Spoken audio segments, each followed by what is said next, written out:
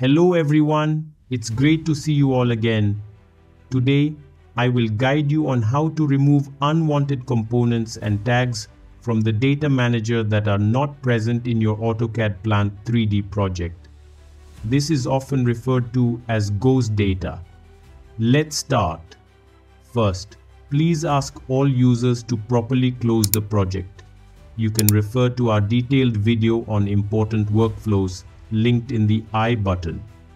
Next, open the project in the Project Manager. Right-click on the project name and choose Audit Project from the menu. If you are working with BIM 360 collaboration or Vault projects, you will need to run the additional audit database command from the context menu. Don't forget to check out our video on important workflows linked in the I button earlier. Now, Open Data Manager to see if the ghost data has been removed from the Data Manager. If it hasn't, proceed to the next troubleshooting steps.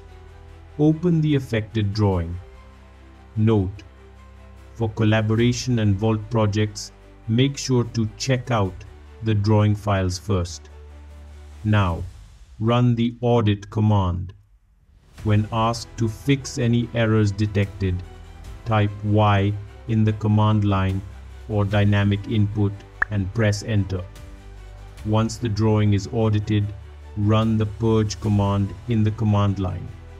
In the purge dialog box, check the options for purge nested items and orphaned data. Click on the purge all button. In the pop-up window, select purge all checked items.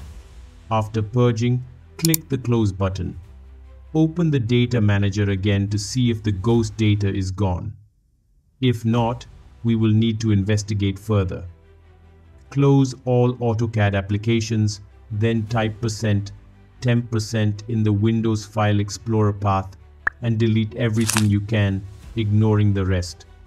Finally, go to the following folder path and delete the contents of the subfolders named Browser Cache, External Data Cache, and graphic cache one by one. Next, navigate to the AutoCAD Plant 3D program directory and open the PLNT3D subfolder. Then, double-click on PNP Local Data Cache Purger.exe and hit the Purge button. Open the Data Manager to check if the ghost data has been removed. If it hasn't, we will need to take further action. Open the drawing file that has the issue. Access the Data Manager. Export the data from the Data Manager. First, right-click on the Sheet tab and select Unprotect Sheet from Context menu. Next, locate the unwanted rows to be deleted from the exported Excel file. Delete the unnecessary rows. Right-click on the Sheet tab and select Protect Sheet to lock the Sheet tab again, save the exported Excel file. Then import the Excel file back into the Data Manager. Close the Data Manager and the project. Reopen the project. Open the drawing file that was affected. Now check the Data Manager to see if the ghost data is gone. If it's still there, further investigation is needed.